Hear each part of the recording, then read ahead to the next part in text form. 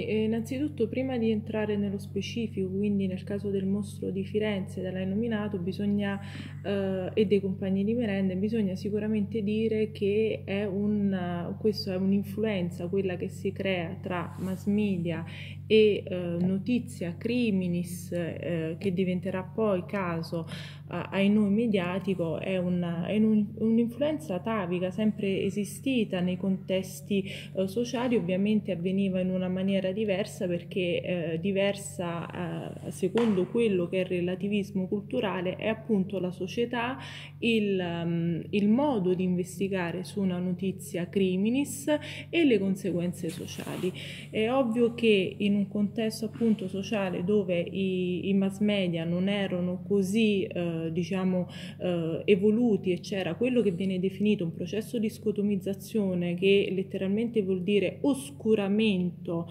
eh, di, tutti, di tutta una serie di appunto di processi sociali e di costruzioni della notizia perché si dava importanza eh, semplicemente ad altre problematiche eh, di tipo sociale, sociologico, si costruivano altre realtà, eh, è ovvio che questa urgenza, questa che è diventata un'urgenza sociale e una conseguenza um, piuttosto negativa sulla notizia criminis,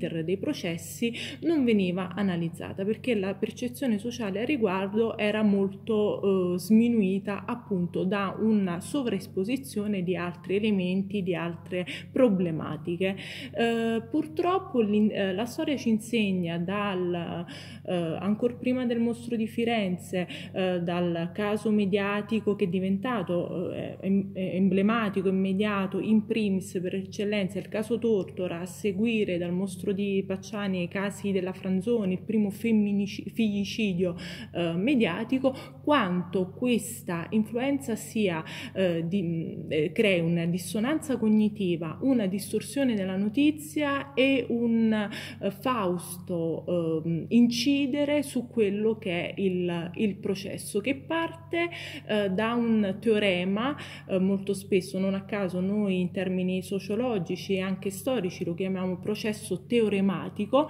cioè partire da un, un teorema eh, di colpevolezza o di assoluzione che molto spesso è quello che ritroviamo già nella fase investigativa, cioè quando non ci sono elementi oggettivi, non ci sono prove, non ci sono eh, elementi appunto concreti che possano eh, far, farci credere, farci proseguire verso la colpevolezza o l'innocenza di un potenziale reo. Quindi diciamo ancora prima che, di raggiungere le tre fasi di giudizio in una, eh, una fase antefatto, quasi antefatto nella, nelle, nelle indagini, eh, ritroviamo il, il, il, teorema del processo ehm, eh, di concetto, il processo teorematico, il costrutto teorematico. Quindi partire da questo teorema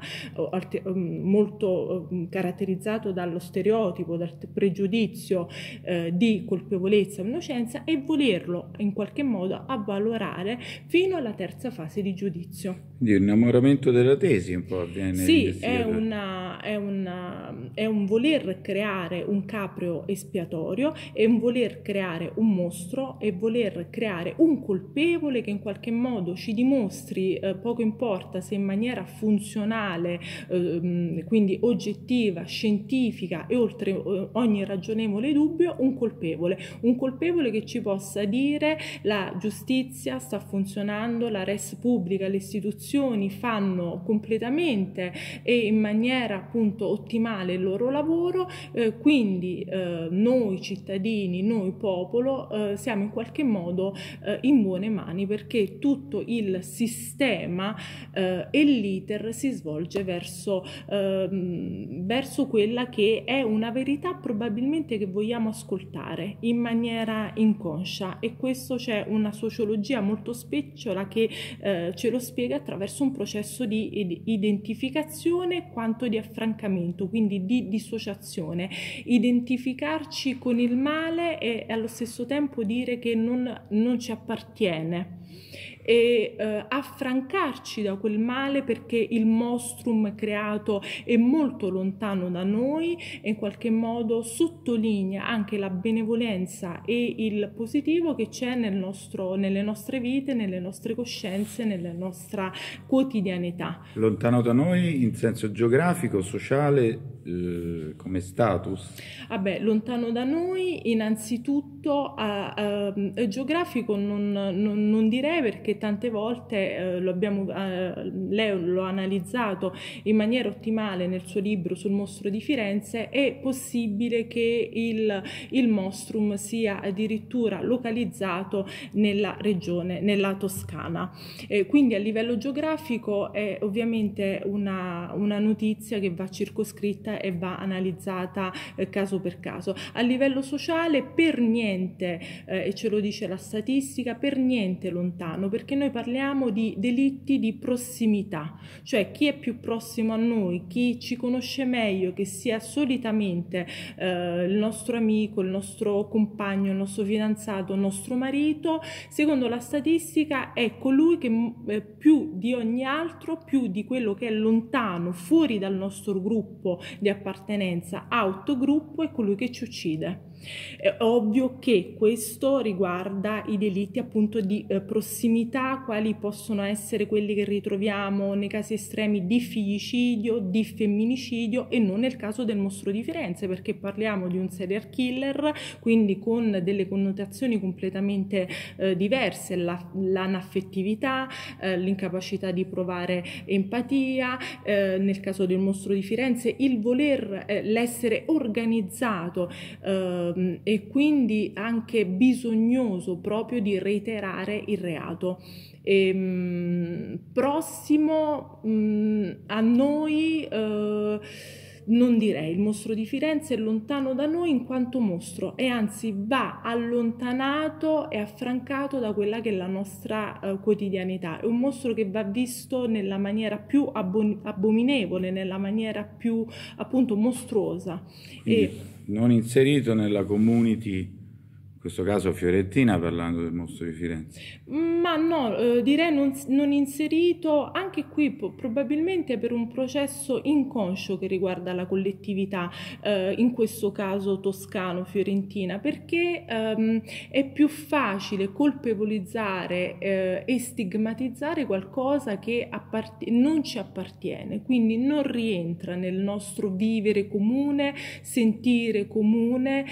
ma qualcosa che è lontano piano noi, verso il quale noi possiamo, noi inteso come comunità, collettività, possiamo puntare il dito. E quindi nello caso specifico gli indagati furono e i condannati, insomma, furono delle persone che non diciamo, ritroviamo nella normalità, nel quotidiano. Eh, esempio i sardi. Certo lo stesso Vigilanti, ma anche i compagni di merende, guardi, erano eh, sì eh, appartenenti eh, comunque ormai trapiantati no? Nella, ne, nel posto, ma comunque molto lontani dal senso di civiltà comune e dal senso di tollerabilità comune della comunità eh, fiorentina, perché da, eh, al di là del, dei casi del mostro di Firenze sono stati sempre etichettati eh, a, giusta causa perché erano dei, eh, voglio dire, dei, se non dei, dei, serial killer, come vedranno e come poi ci dirà l'iter giudiziario, delle persone ehm, lontane per comportamenti devianti, asociali dal contesto fiorentino, quindi in qualche modo da etichettare, da allontanare in quanto balordi che avevano commesso, al di là dei delitti del mostro di Firenze, ripetiamolo, una, un, un, iter esistenziale sicuramente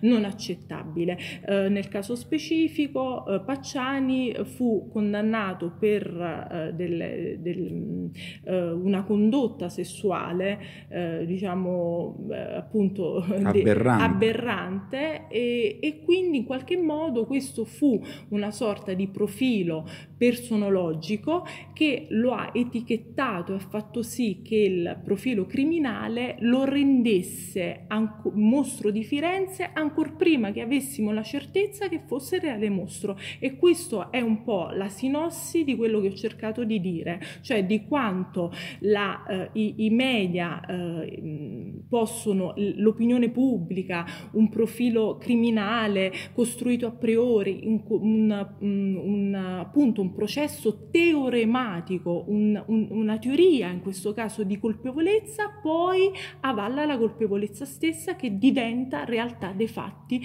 se non avessimo poi raggiunto oltre, dopo oltre 30 anni l'innocenza dei tre indagati. Certo, Vanni era un postino ubriaco con comportamenti sessuali da prostitute, quindi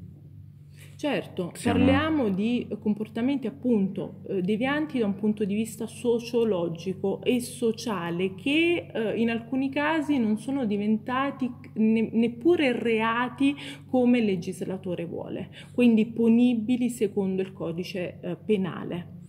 Sì, c'è il discorso della testimonianza e qui entra in gioco il Giancarlo Lotti che era ridotto quasi allo stato di barbonaggio e quindi era un, una persona spesso ubriaca che eh, qui entriamo nella psicologia della testimonianza, no? Certo. Eh, perché Lotti si sarebbe collocato e avrebbe diciamo, eh, preso la condanna confessando delitti che poi allo stato dei fatti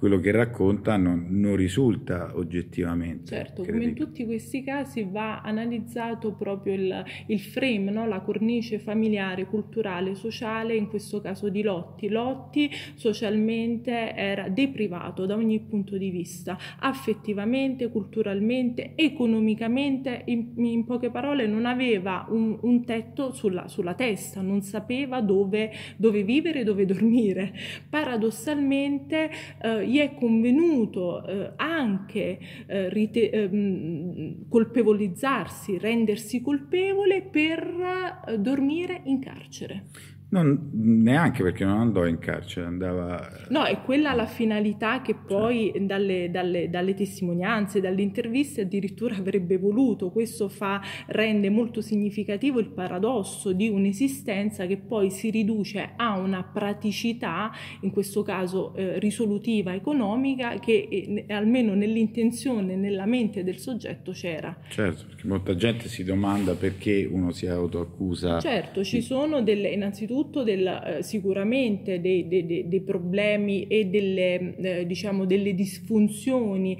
eh, e un deficit eh, proprio cognitivo e culturale che ha portato con una certa facilità a determinati comportamenti e poi una realtà oggettiva di deprivazione economica che ha avallato questo de- deficit e questa personalità borderline oltre, oltre, la riga, oltre quello che normalmente noi riteniamo appunto um,